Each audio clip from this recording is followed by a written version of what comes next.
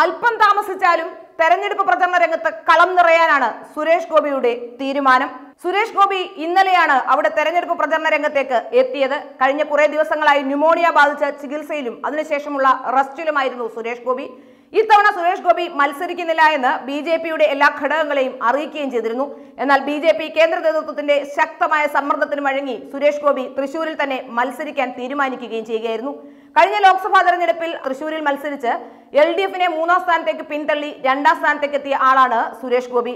അതുകൊണ്ട് തന്നെ സുരേഷ് ഗോപിക്ക് ഇത്തവണ വിജയപ്രതീക്ഷ ഏറെയാണ്. യു ഡി എഫിന്റെ പത്മജ വേണുഗോപാലാണ് അവിടെ സ്ഥാനാർത്ഥി. നിലവിൽ കൃഷിമന്ത്രിയായ വി എസ് സുനിൽകുമാർ പ്രതിനിധീകരിക്കുന്ന മണ്ഡലം കൂടിയാണ് തൃശൂർ. അതുകൊണ്ട് തന്നെ തൃശൂരിൽ പി ബാലചന്ദ്രനിലൂടെ ഈ സീറ്റ് നിലനിർത്താനാണ് എൽ ഡി എഫ് ആഗ്രഹിക്കുന്നത്. എന്തായാലും പത്മജ വേണുഗോപാലും അതുപോലെ തന്നെ സുരേഷ് ഗോപിയും കൂടി അവിടേക്ക് എത്തുന്നതോടുകൂടി തെരഞ്ഞെടുപ്പ് ചിത്രം വ്യത്യസ്തമാകുമെന്ന് ഉറപ്പ്.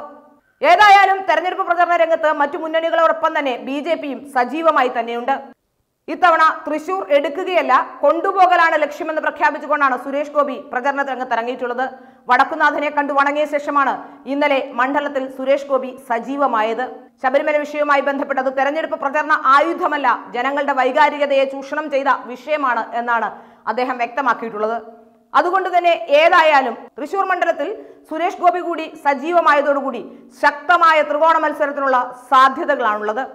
ഏതായാലും തൃശൂർ ആരെ തുണയ്ക്കുമെന്ന് തെരഞ്ഞെടുപ്പ് ചിത്രം വ്യക്തമാകുമ്പോൾ മനസ്സിലാക്കാൻ കഴിയും.